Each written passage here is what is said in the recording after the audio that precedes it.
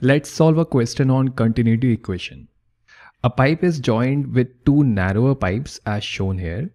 A stream of non-viscous liquid enters from the left, splits in the middle and flows out of the two narrow openings. We have some data.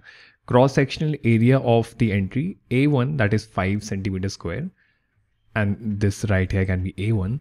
Speed of the liquid at entry is 7 meters per second cross-sectional area of the top exit, this exit right here, A2 that is 2 centimeters square. Speed of the liquid at the top exit is 4 meters per second and the speed of the liquid at the bottom exit V3 is 10 meters per second. What is the cross-sectional area of the bottom exit? We need to choose one answer out of these four options. Okay, as always, pause the video and first try this question on your own. Alright, hopefully you have given this a shot. Now let's try to let's try to make sense of all the data that has been given to us. So to begin with, we have cross-sectional area of the entry A1 that is 5 centimeter square. Let's label that on the diagram. This right here, this is 5 centimeter square. Speed of the liquid is 7 meters per second. First, let's look at all the cross-sectional areas. Cross-sectional area of the top exit A2, this right here can be called A2 and this is this is 2 centimeters square. This is 2 centimeters square. We don't know the area of the bottom exit. That is what we need to figure out. Now the key idea here is that the volume of the water entering. So let's say, let's say this much volume of water that is entering. This water, some of it is going from the top exit. So some of it is going from here and some of it is going, it's going from here if we take any small time interval if we take if we take delta t if we take the time interval of delta t we can say that in this time interval the amount of water that entered from the left and when we say amount we really can say the volume of water because this is this is not a two dimensional tube right? It also has an area and and and length. So the volume of water that is entering some of it is going from the top some of it is going from the bottom.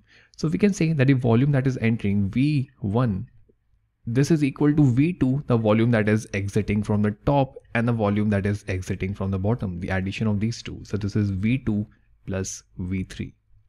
Let's think about the volume of water that enters from the left in a time interval of delta t. So we already know the speed with which the water is moving. And, and from the good old equation, we know that speed is equal to distance upon time. So we can write distance as, let's, let's write that over here. We know that speed is equals to distance upon time. So distance really is speed into time. And the velocity with which the water is entering from the left, that is, we can call that V1. We have a variable. We will put in the numbers later, but let's, for now, let's call it V1. And in a time interval of delta t, the length that the water travels would be V1 into delta t. This would be V1 into delta t. This is the distance. This is the distance that the water travels in a time interval of delta t if it is moving with a velocity of v1. So for, so for this one, for the top exit, the speed of the liquid at the top exit, this is really v2 and this distance then would be v2 into delta t.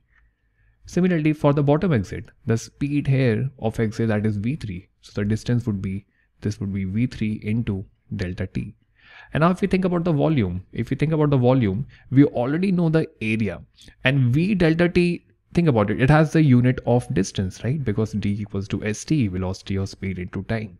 So if you multiply area, if you multiply the cross-section area of this part of the tube with this distance, we should be able to figure out the volume of water that entered in a time interval of delta t. So if you multiply the area, let's let's call this A1 for now. This is this is A1, this is a2 and this is this is A3 what we need to figure out. So the volume that entered this is A1 into V1 delta T and this is equal to V2 that is A2 A2 into V2 delta T and adding A3 into V3 delta T. Now we can see that delta T really gets cancelled and we need to figure out A3 Everything else we already know. We know V1, V2, V3. That's the data is given to us. And we also know A1 and A2. So let's keep A3 on one side and everything else on the on the other side. So when we keep A3 on the right hand side, let's take let's take A2 V2 on the left hand side. This becomes A1 V1 minus A2 V2 divided by divided by V3. and this is equal to A3. Now let's put in the values. A1 here is 5 centimeter square. So this is this is 5 centimeter square multiplied by V1 which is 7 meters per second. This is 7 meters per second. And we are subtracting A2 V2 from it. So A2 is 2 2 centimeter square. And V2 that is 4 meters per second. And this is divided by this is divided by 10 meters per second. A3 is equal to this really. This is this is equal to a3 so now when we work this out this is when we multiply 7 meters per second with 5 centimeters per square this becomes equal to 35 35 centimeter square into meters per second and we are subtracting 8 centimeter square into meters per second with this and dividing this with 10 meters per second.